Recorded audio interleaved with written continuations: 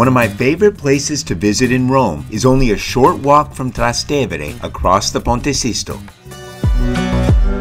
The Piazza Navona, a Baroque architectural masterpiece and center for culture and vibrant activity in a city teeming with both.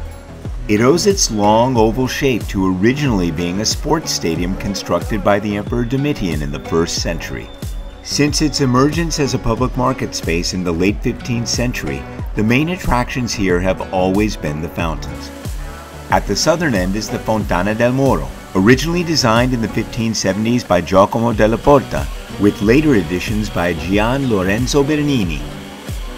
It depicts a Moorish figure standing in a conch shell, wrestling a dolphin while surrounded by four tritons shooting water from their mouths. It's a very subtle design.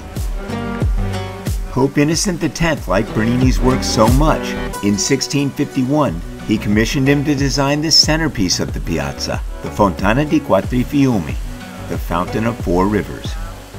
The ornate detail that characterizes Baroque architecture is incredible here. You could admire this fountain all day and still not find each and every detail. Seemingly floating above the fountain is the Obelisk Pamphilis, brought to the piazza and restored by Pope Innocent X. A 2,000 year old Egyptian style piece with hieroglyphs honoring three Roman emperors. The 50 foot granite obelisk is topped with a dove holding an olive branch, honoring the Pamphili, Pope Innocent's family. Yeah, it's nice to be the Pope.